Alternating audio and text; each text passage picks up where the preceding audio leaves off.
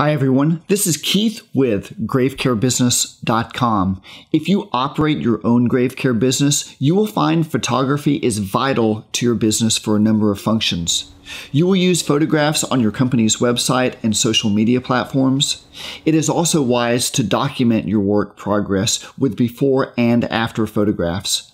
Thirdly, your clients especially those who live out of town, will appreciate receiving updated photos of their loved ones' grave sites.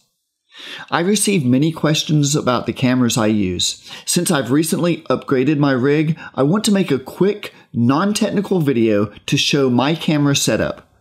It's good to note that modern day cell phones do an outstanding job capturing photographs.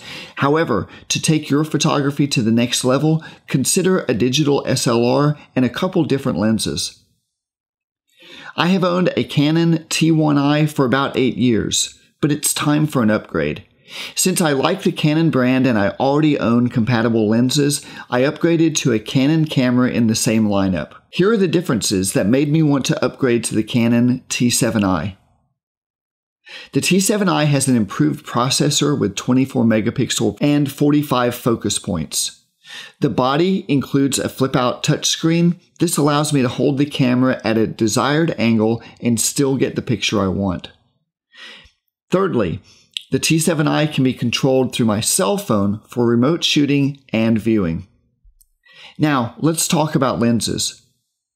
Since I already owned an 18 to 55 millimeter kit lens from the previous Canon, I purchased the body only and saved the expense.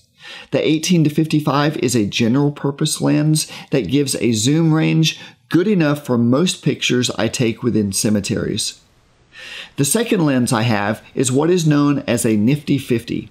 It's a prime 50 millimeter lens that gives shallow depth of field shots to isolate the gravestone when focusing.